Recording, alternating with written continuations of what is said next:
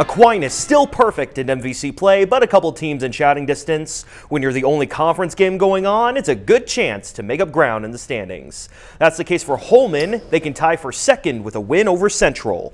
Riverhawks on an early run. Brianna Mayer, a couple of bounces, then drops in for two. Not long after, a wide open look from downtown for McKenna Michaels. Central taking the lead back.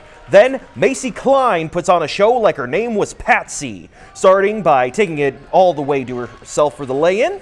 And then she's going to pull up from three. She had nine straight Vikings points on her way to 21 total, but you can't win it alone. That's because Danica Rebhan helps in with the steal. She's going to take it all the way to the rack herself, and Holmen walks away with the 60 to 45 win at home.